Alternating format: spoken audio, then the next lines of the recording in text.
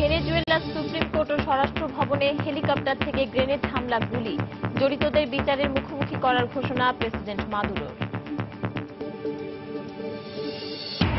কাতারকে প্রতিবেশী দেশগুলোর বেঁধে দেওয়া শর্ত নিয়ে সমঝোতার কোনো সুযোগ নেই।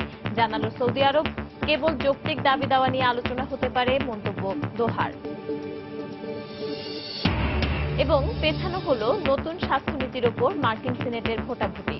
মতভেদ দূর করে এর পক্ষে ভোট দিতে সিনেটরদের প্রতি ট্রাম্পের আহ্বান।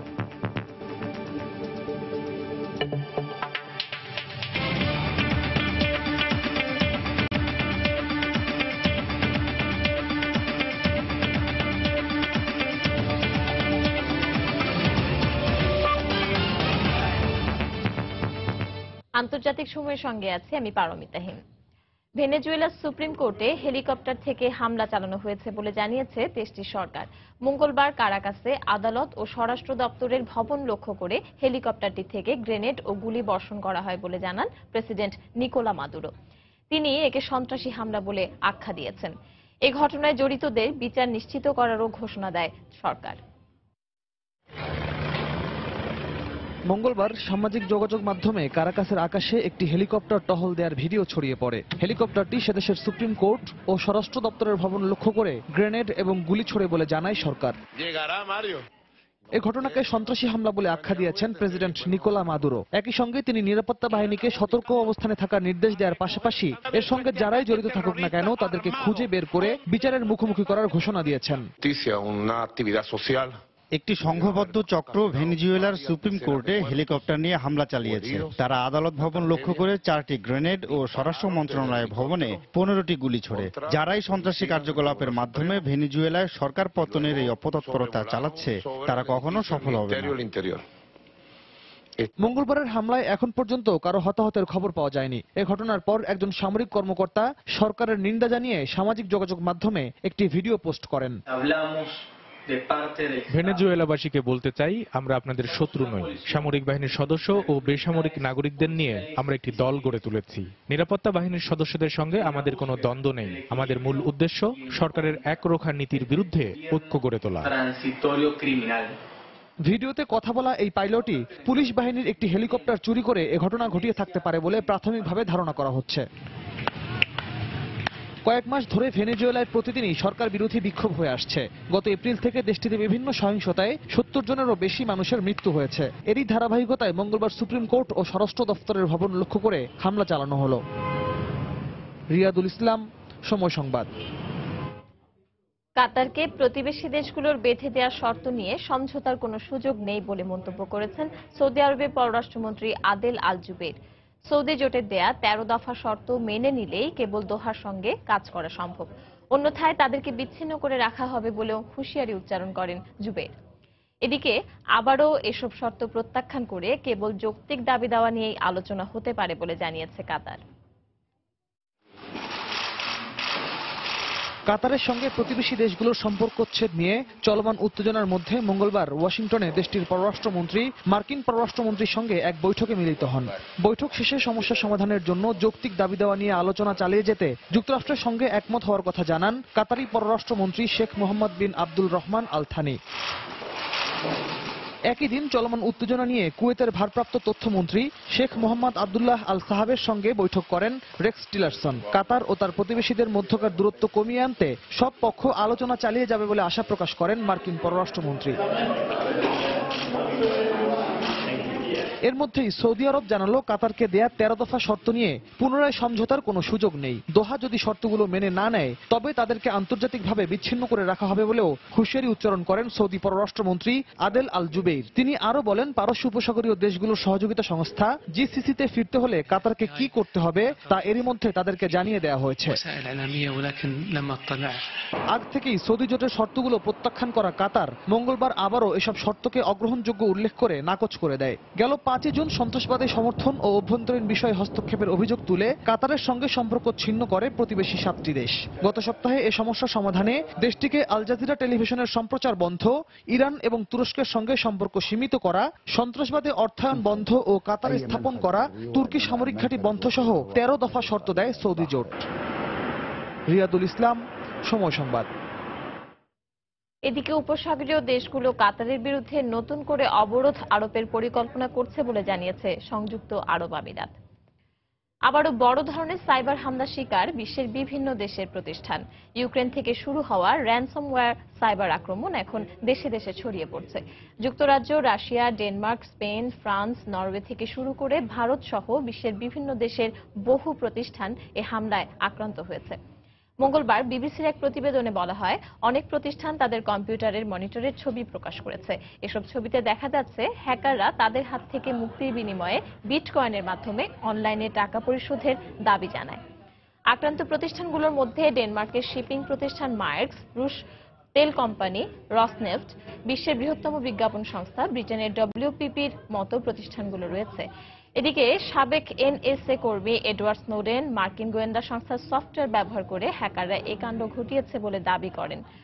মার্কিন যেসব সংস্থা বিশ্বব্যাপী নজরদারি চালাতে এসব টুল ব্যবহার করে আসছে, তাদেরকে জবাবদিহিতার আওতায় আনা উচিত বলেও টুইটারে উল্লেখ করেন স্নোডেন।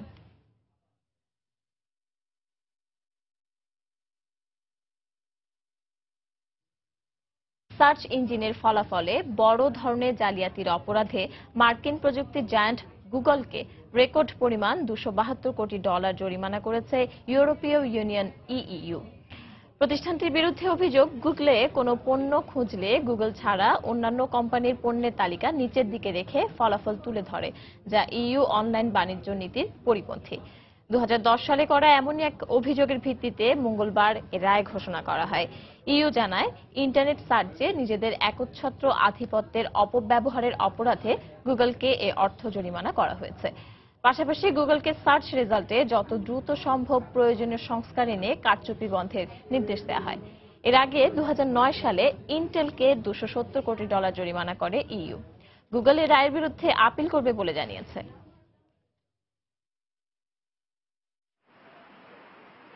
আন্তর্জাতিক সময়ে আরও দেখবেন।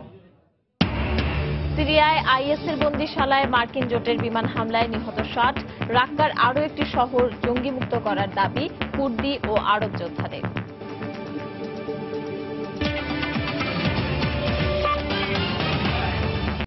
মার্কিন সিনেটে প্রেসিডেন্ট ডোনাল্ড ট্রাম্পের ঘোষিত নতুন স্বাস্থ্যনীতির ওপর ভোটাভুটি পিছিয়ে দেওয়া হয়েছে। সাবেক প্রেসিডেন্ট ওবামার স্বাস্থ্যনীতি বা ওবামা কেয়ার বাতিলের পর ঘোষিত এই স্বাস্থ্যনীতির প্রতি রিপাবলিকান সিনেটরদের পূর্ণ সমর্থন নেই, এটা আজ করতে পেরে ভোট পিছিয়ে দেওয়া হয়েছে। মতভেদ দূর করে নতুন স্বাস্থ্যনীতির পক্ষে ভোট দিতে রিপাবলিকান সিনেটরদের প্রতি আহ্বান জানিয়েছেন প্রেসিডেন্ট ট্রাম্প। সাবেক মার্কিন প্রেসিডেন্ট বারাক ওবামার স্বাস্থ্যনীতি ওবামা কেয়ার চালুর পর নিম্ন আয়ের বহু মানুষ স্বাস্থ্য বিমার আওতায় আসে। তবে বিলটির বিভিন্ন দিকে সমালোচনা করে ট্রাম্প নির্বাচনী প্রতিশ্রুতিতে তা বাতিলের ঘোষণা দিয়েছিলেন। সেজন্যই ওবামা কেয়ার বিল বাতিল করে নতুন the American health care bill আনা হয়। গত সপ্তাহে সিনেটে নতুন স্বাস্থ্যনীতির খসড়া প্রকাশের পর বৃহস্পতিবার ভোটাভুটি হওয়ার কথা ছিল। তবে এখন পর্যন্ত রিপাবলিকানদের অনেকেই নতুন স্বাস্থ্যনীতির প্রতি সমর্থন না দেয়ায় বিলটির ওপর ভোটাভুটির দিন পিছিয়ে দেওয়ার ঘোষণা দেন সিনেটের সংখ্যাগরিষ্ঠ দলের নেতা মিচ ম্যাককনেল। Continue. আমরা নিজেদের মধ্যে আলোচনা চালিয়ে যাব। আমরা এই সপ্তাহে বিলটি উত্থাপন করব না। এটি অনেক জটিল একটি বিল তাই সবার এ বিষয়ে একমত হতে এবং বিলটি পাশ করাতে সময় লাগছে। তবে আমি আশাবাদী শিগগিরই বিলটি পাশ করাতে পারব আমরা। Getting, uh, প্রেসিডেন্ট ডোনাল্ড ট্রাম্পও রিপাবলিকানদের প্রতি নিজেদের আপত্তি ভুলে ওবামা কেয়ার পরিবর্তন করে নতুন স্বাস্থ্যনীতির পক্ষে মত দেওয়ার আহ্বান জানান। Sorts of things before they even knew what the bill আমরা. সবাই আলোচনা করব। দেখা যাক কি করা যায় বিষয়টি নিয়ে। দেশের স্বার্থে একটি ভালো স্বাস্থ্যনীতি দরকার। ওবামা কেয়ার কোনোভাবেই তা ছিল না। আমরা যদি ওবামা কেয়ার বাতিল করে নতুন স্বাস্থ্যনীতি পাশ করতে পারি তা হবে দারুণ একটি কাজ। গত মার্চে ওবামা কেয়ারের বেশিরভাগ ধারা বাতিল করে ট্রাম্প প্রশাসন সংশোধিত স্বাস্থ্যনীতি প্রকাশ করে। এই স্বাস্থ্যসেবা কর্মসূচির মেয়াদ দু হাজার বিশ সাল পর্যন্ত নির্ধারণ করা হয়। তখন বলা হয়েছিল, খসড়া স্বাস্থ্যনীতিটিকে আইনে পরিণত করতে শিগগিরই কংগ্রেসের উভয় কক্ষে অনুমোদনের জন্য উত্থাপন করা হবে। এরপর কংগ্রেসের প্রতিনিধি পরিষদে বিলটি উত্থাপনের আগেই হারের আশঙ্কায় তা প্রত্যাহার করে নেন ট্রাম্প। কারণ নতুন স্বাস্থ্যনীতি নিয়ে মতবিরোধ আছে খোদ রিপাবলিকানদের মধ্যেই। আর তাই প্রয়োজনীয় দুশো ভোট না পাওয়ার শঙ্কায় তা প্রত্যাহার করা হয়। নতুন স্বাস্থ্যনীতির বিরোধিতাকারী রিপাবলিকান আইন প্রণেতাদের আসন প্রত্যাহারের হুঁশিয়ারি দিয়ে ট্রাম্প তখন এমনও বলেছিলেন, তার স্বাস্থ্যনীতির বিরুদ্ধে অবস্থান নিলে পরবর্তী নির্বাচনে তাদের প্রেসিডেন্টের সমর্থন হারাতে হবে। পরে গত মাসে প্রতিনিধি পরিষদে দুশো ভোটে পাশ হয় বিলটি। তবে শঙ্কা রয়ে যায়, সিনেটে ক্যাবিনেটে তা পাশ হবে কিনা তা নিয়ে। হাফসাতুন্নেসা সময় সংবাদ। রাশিয়া নিয়ে প্রতিবেদন প্রকাশের জেরে যুক্তরাষ্ট্র ভিত্তিক সংবাদ মাধ্যম সিএনএন এর তিন সাংবাদিক পদত্যাগ করেছেন। ট্রাম্প প্রশাসনের সহযোগী স্কারামুচির রাশিয়ার এক বিনিয়োগ তহবিলের সাথে সম্পর্ক নিয়ে মার্কিন কংগ্রেস তদন্ত করছে এমন খবর প্রকাশের পরপরই সামাজিক যোগাযোগ মাধ্যমে তা ছড়িয়ে পড়ে।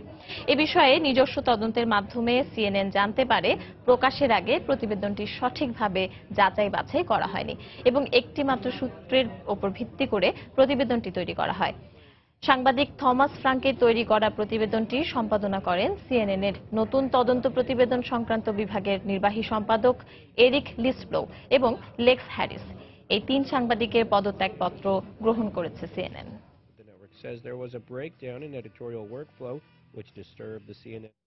সিরিয়ার মায়াদিনে আইএস পরিচালিত একটি বন্দিশালায় মার্কিন জোটের বিমান হামলায় অন্তত ষাট জন নিহত হয়েছে। এদের মধ্যে বিয়াল্লিশ জন বন্দী এবং পনেরো জন জঙ্গির বলে জানিয়েছে যুক্তরাজ্য ভিত্তিক পর্যবেক্ষণ সংস্থা Syrian Observatory for Human Rights. এদিকে পশ্চিম রাক্কার আরেকটি শহর আইএস এর কাছ থেকে নিয়ন্ত্রণে নিয়েছে মার্কিন সমর্থিত কুর্দি ও আরব যোদ্ধারা। এ সময় জঙ্গিদের একটি গোপন সুড়ঙ্গের সন্ধান পায় তারা। সিরিয়ার দামেস্কে ক্ষেপণাস্ত্র হামলায় বিধ্বস্ত একটি বাড়ির ধ্বংসস্তূপ থেকে দুটি শিশুকে উদ্ধারের একটি ছবি মঙ্গলবার সামাজিক মাধ্যমে ছড়িয়ে পড়ে। তবে কারা এই হামলা চালায় সে বিষয়ে কোনো কিছুই বলা হয়নি। একই দিন দামেস্কের আয়ান তার্মা উপশহরে বিমান হামলায় পরিণত হওয়া ধ্বংসস্তূপের ছবিও প্রকাশ করা হয়। এমন বিক্ষিপ্ত লড়াই ও বিমান হামলার মধ্যে মঙ্গলবার রাক্কার পশ্চিমাঞ্চলের একটি শহর আইএস এর কাছ থেকে পুনর্দখল করেছে মার্কিন সমর্থিত কুর্দি ও আরব যোদ্ধারা। এ সময় তারা আইএস এর ব্যবহার করা একটি সুড়ঙ্গের সন্ধান পায়। জঙ্গিরা আশপাশের কয়েকটি বাড়িতে গোপনে যাতায়াত করতে এ সুড়ঙ্গ ব্যবহার করত বলে ধারণা করা হচ্ছে। কয়েকদিন আগে আমরা সুড়ঙ্গটির সন্ধান পাই। তারা মাটি খনন করে এর মধ্য দিয়ে যাতায়াত করত। এ কারণে আইএস এর জঙ্গিরা কোথায় আছে তা জানা যেত না। এরকম আরও সুরঙ্গ আছে। তবে খুঁজে বের করে সেগুলোতে পৌঁছানো অনেক কঠিন। একই দিন প্রথমবারের মতো সিরিয়ার লাতাকিয়ায় রুশ পরিচালিত খমেইমিম বিমান ঘাঁটি পরিদর্শনে যান প্রেসিডেন্ট বাশার আল আসাদ এ সময় তাকে রুশ যুদ্ধবিমান এস ইউ থার্টি ফাইভ এর ককপিটে উঠতেও দেখা যায়। এদিকে সিরিয়া আবারও রাসায়নিক হামলার প্রস্তুতি নিচ্ছে বলে যুক্তরাষ্ট্র যে হুঁশিয়ারি দিয়েছে তা শুধু দামেস্কের জন্য নয় উল্লেখ করে মস্কো এবং তেহরানকেও সতর্ক হতে বলেছেন জাতিসংঘে মার্কিন রাষ্ট্রদূত নিকি হ্যালি। শুধু সিরিয়া নয় রাশিয়া ও ইরানের জন্য প্রেসিডেন্ট ট্রাম্পের পক্ষ থেকে এটি সতর্ক বার্তা প্রেসিডেন্টের এ বার্তার পর রাশিয়া ও ইরানের উচিত হবে তাদের কার্যকলাপ সম্পর্কে দ্বিতীয়বার ভাবা। কারণ আর কোন নিরীহ মানুষ, নিষ্পাপ শিশু আঘাতপ্রাপ্ত হোক তা আমরা চাই না। এদিকে পর্যবেক্ষক সংস্থা জানায়, সিরিয়ার উত্তর পূর্বাঞ্চলে আইএস জঙ্গিদের সঙ্গে মার্কিন সমর্থিত কুর্দি ও আরব যোদ্ধাদের তুমুল সংঘর্ষ চলছে। এরই ধারাবাহিকতায় জঙ্গি গোষ্ঠীটির কথিত রাজধানী রাক্কার বেশ কয়েকটি অঞ্চল পুনর্দখলের পর এসডিএফ সদস্যরা মার্কিন জোটের সহায়তায় তাদের অগ্রাভিযান অব্যাহত রেখেছে। সময় সংবাদ। কলম্বিয়ার বিচ্ছিন্নতাবাদী সশস্ত্র সংগঠন ফার্ক তাদের কাছে থাকা সব অস্ত্র আনুষ্ঠানিকভাবে হস্তান্তর করেছে বলে জানিয়েছে জাতিসংঘ। এর মাধ্যমে অর্ধ শতাব্দী ধরে চলা ফার্কের বিদ্রোহের অবসান ঘটল। গত বছর দেশটির সরকারের সঙ্গে করা শান্তি চুক্তির আওতায় কয়েক দফায় তারা এই অস্ত্র সমর্পণ করে। এর আগে চার বছর ধরে চলা আলোচনার ভিত্তিতে হাভানায় দুপক্ষের মধ্যে চুক্তিটি স্বাক্ষরিত হয়। সোমবার জাতিসংঘের পর্যবেক্ষণ দল এক বিবৃতিতে জানায় ফার্কের সদস্যদের কাছে থাকা ব্যক্তিগত সব অস্ত্র হস্তান্তর করেছে তারা। বাকি যেগুলো আছে সেগুলো নিরাপত্তার স্বার্থে রাখা হয়েছে।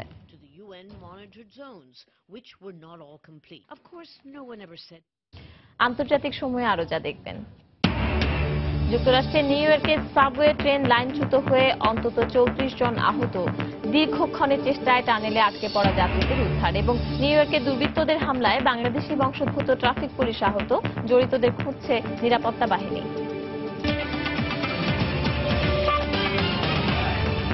ভারতের রাষ্ট্রপতি নির্বাচনে বিরোধী দলীয় প্রার্থী হিসেবে মনোনয়নপত্র জমা দিয়েছেন লোকসভার সাবেক স্পিকার মীরা কুমার।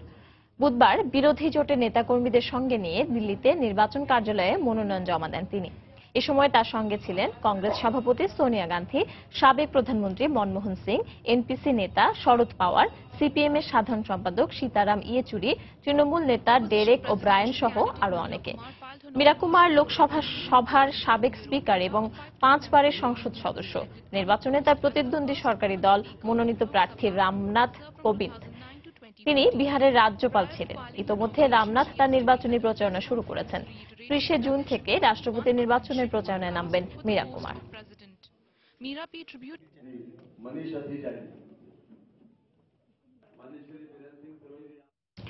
পশ্চিমবঙ্গ থেকে গোর্খা ল্যান্ড নামে আলাদা রাজ্যের দাবিতে এবার পিঠে টিউবলাইট ভেঙে প্রতিবাদ জানালেন গোর্খা জনমুক্তি মোর্চার কর্মীরা। মঙ্গলবার সকালে শৈলশহর দার্জিলিং এর চকবাজার এলাকায় কয়েক হাজার মোর্চা সমর্থক জড়ো হয়ে মিছিল বের করে। এ সময় আলাদা রাজ্যের দাবিতে স্লোগান দিতে থাকেন মিছিলকারীরা। এক পর্যায়ে মিছিলের সামনের দিকে কিছু যুবক খালি গায়ে পিঠে টিউবলাইট ভেঙে প্রতিবাদ করেন। পরে আন্দোলনকারীরা জিটিএ চুক্তিপত্রে আগুন জ্বালিয়ে পশ্চিমবঙ্গ রাজ্যের সঙ্গে গোর্খাল্যান্ড টেরিটরি এগ্রিমেন্টের এগ্রিমেন্ট থেকে সব সম্পর্ক ছিন্নের ঘোষণা দেন। গেল বারোই জুন থেকে পশ্চিমবঙ্গের পার্বত্য জেলা দার্জিলিংয়ে আলাদা রাজ্যের দাবিতে আন্দোলন শুরু করে গোর্খা জনমুক্তি মোর্চা নামে একটি সংগঠন।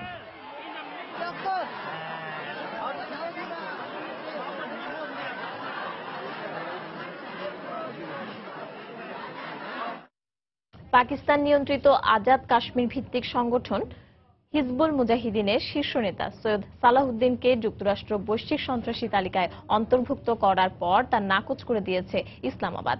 মঙ্গলবার পাকিস্তানের পররাষ্ট্র মন্ত্রণালয়ের এক কর্মকর্তা বলেন, কোনো বিচার বিবেচনা না করেই সৈয়দ সালাউদ্দিনকে সন্ত্রাসী হিসেবে আখ্যায়িত করেছে ট্রাম্প প্রশাসন। এদিকে ওয়াশিংটনের এমন পদক্ষেপের প্রতিবাদে পাকিস্তান নিয়ন্ত্রিত কাশ্মীরের মুজাফফরাবাদ সহ বিভিন্ন স্থানে যুক্তরাষ্ট্র ভারত বিরোধী বিক্ষোভ হয়েছে গেল সোমবার হোয়াইট হাউসে ভারতীয় প্রধানমন্ত্রী নরেন্দ্র মোদীর সঙ্গে মার্কিন প্রেসিডেন্ট ডোনাল্ড ট্রাম্পের বৈঠকের কয়েক ঘণ্টা আগে হিজবুল মুজাহিদিনের শীর্ষ নেতা সৈয়দ সালাউদ্দিনকে বৈশ্বিক সন্ত্রাসী তালিকায় অন্তর্ভুক্ত করে যুক্তরাষ্ট্র। এর মাধ্যমে ট্রাম্প প্রশাসন পাকিস্তানের প্রতি কঠোর বার্তা দিল বলে মনে করছে ভারত। সালাউদ্দিন পাকিস্তানের মদদে দীর্ঘদিন ধরে ভারত বিরোধী কর্মকাণ্ড চালিয়ে আসছে বলে অভিযোগ নয়াদিল্লির। মেক্সিকোর ভেরাক্রুজ প্রদেশে অপরাধী চক্রের হাতে প্রাদেশিক পুলিশ প্রধান সহ অন্তত এগারো জন নিহত হয়েছে। নিহতদের মধ্যে আরও দুই পুলিশ সদস্য রয়েছেন বলে জানা গেছে। প্রাদেশিক গভর্নর মিগেল এঞ্জেল ইউনেস এ তথ্য জানান কার্ডেল শহরের একটি রেস্টুরেন্টে অস্ত্রধারী সন্ত্রাসীদের গুলিতে নিহত হন প্রাদেশিক পুলিশ প্রধান সহ ওই তিন পুলিশ কর্মকর্তা। এছাড়াও বন্দরনগরী কোটজা কোলকোসে চার শিশু সহ ছয়জন এবং ওরিজাবা শহরে সন্ত্রাসীদের হাতে নিহত হন আরও অন্তত দুই নারী। নিহতদের সবাইকে গুলি করে হত্যা করা হয়।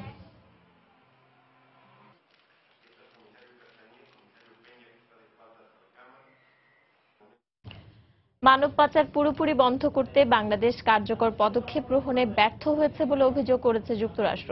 তবে বর্তমান সরকার মানব পাচার রোধে বেশ কিছু নীতি গ্রহণ করায় একে গুরুত্বপূর্ণ উদ্যোগ বলে মার্কিন মানব পাচার বিষয়ক বার্ষিক প্রতিবেদনে উল্লেখ করা হয়। মঙ্গলবার মার্কিন পররাষ্ট্রমন্ত্রী রেক্স টিলারসন প্রতিবেদনটি প্রকাশ করেন। এ সময় মার্কিন প্রেসিডেন্ট ডোনাল্ড ট্রাম্পের মেয়ে ইভাঙ্কা ট্রাম্পও উপস্থিত ছিলেন। প্রতিবেদনে আরও বলা হয়েছে দু হাজার ষোলো সতেরো সালে বাংলাদেশ থেকে সবচেয়ে বেশি শ্রমিক বিভিন্নভাবে বাহরাইনে গেছে। একই সঙ্গে বাংলাদেশ, ভারত, পাকিস্তান, ফিলিপিন্স, নেপাল, মিশর, জর্ডান, ইয়েমেন, থাইল্যান্ড, সিরিয়া এবং কেনিয়া থেকে নারী ও পুরুষ শ্রমিকদের নিয়ে বাহরাইনে জোরপূর্বক কাজে বাধ্য করা এবং যৌন নির্যাতন করা হচ্ছে বলেও প্রতিবেদনে প্রকাশ করা হয়। পররাষ্ট্রমন্ত্রী টিলারসন বলেন, একবিংশ শতাব্দীতে এসেও এমন দাসত্ব প্রথা মেনে নেওয়া যায় না। And I thank you both for elevating the full room. My name is Susan Coppage. Human trafficking every day in our engagement with নারী ও শিশুরা সবচেয়ে বেশি মানব পাচারের শিকার। মার্কিন পররাষ্ট্র মন্ত্রণালয় কাজ করছে কীভাবে এই সমস্যার ইতি টানা যায়। মানব পাচারের কারণে সমাজে অপরাধী বেড়ে যাচ্ছে। বছরের পর বছর ধরে মানব পাচার হয়ে আসছে। তবে এই শতাব্দীতেই মানব পাচার বন্ধ হয়ে যাবে এ বিষয়ে নিশ্চিত করতে পারি ভূমধ্য সাগর থেকে চব্বিশ জন অভিবাসন প্রত্যাশীর মরদেহ উদ্ধার করেছে ক্রিস্টের কর্মীরা। মঙ্গলবার লিবিয়ার পূর্ব উপকূল থেকে তাদের উদ্ধার করা হয়। প্রত্যক্ষদর্শীরা জানায়, গত সপ্তাহের শেষ দিকে কয়েকটি মরদেহ ভেসে আসে। জীবন বাজি রেখে এভাবে ভূমধ্য সাগর পাড়ি দেওয়ার সময় প্রায় সময়ই মর্মান্তিক ঘটনা ঘটছে। সোমবার রাতেও ভূমধ্যসাগর থেকে তিন অভিবাসন প্রত্যাশীর মরদেহ উদ্ধার করে ইতালীয় উপকূলরক্ষী বাহিনী। এ সময় উদ্ধার করা হয় এক হাজার অভিবাসন প্রত্যাশীকে। একই দিন লিবিয়া উপকূল থেকে কয়েকটি সাহায্যকারী সংস্থা পাঁচ হাজারের বেশি অভিবাসন প্রত্যাশীকে উদ্ধার করে বলে জানিয়েছে ইতালীয় কোস্টগার্ড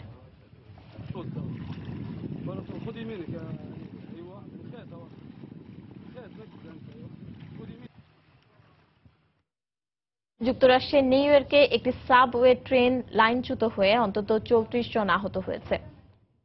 মঙ্গলবার ম্যানহাটনে এ দুর্ঘটনার পর ট্রেনটির প্রায় আটশো যাত্রী টানেলের ভেতরে আটকা পড়েন।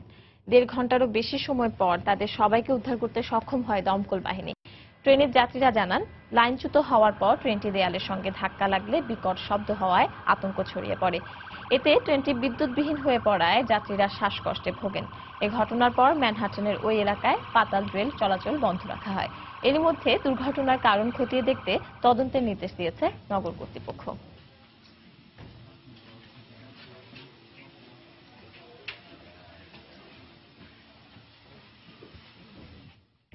নিউ ইয়র্কে দুর্বৃত্তদের হামলায় বাংলাদেশি বংশোদ্ভূত এক ট্রাফিক পুলিশ আহত হয়েছেন। সুমন সরকার নামের ওই বাংলাদেশি কুইন্স হাসপাতালে চিকিৎসাধীন আছেন। কাজ শেষে বাড়ি ফেরার পথে নিউ ইয়র্কের জ্যামাইকা এলাকায় কয়েকজন অস্ত্র হাতে তার উপর চড়াও হয়। এ সময় তাকে অকথ্য ভাষায় গালাগালি করার পাশাপাশি সুমন সরকারের কাছে থাকা অর্থ ও সেলফোনটি কেড়ে নেয় দুর্বৃত্তরা। এ ঘটনায় গুরুতর আহত ট্রাফিক পুলিশের ফুসফুসে অস্ত্রোপচার করা হয়েছে। তিনি আশঙ্কামুক্ত রয়েছেন বলে জানিয়েছে হাসপাতাল কর্তৃপক্ষ।